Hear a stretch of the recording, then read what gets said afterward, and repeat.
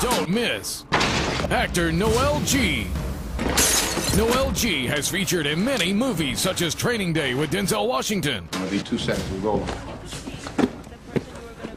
Hey, that's nice, Holmes. Let me get the CD player, eh?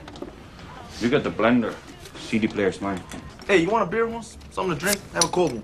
Bruce Almighty with Jim Carrey, Yo, brethren, what up with thee? Blessings on your alley. Looking for another can of whoop. You didn't get enough, Mr. Hero? He wants some more. Surely I say unto you, dudes, I do not wish to fight.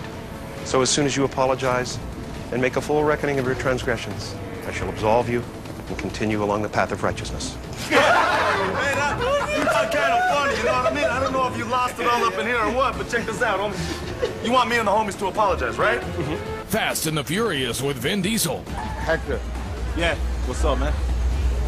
Noel G is a born again Christian and is sharing his testimony how Jesus Christ came into his heart and saved him. It's a testimony you don't want to miss. You're gonna make me find out the hard way. Actor Noel G, you don't want to miss it.